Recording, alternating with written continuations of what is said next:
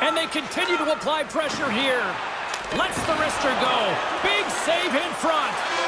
And there's the final horn, putting a bow on this one here this evening. Really dominant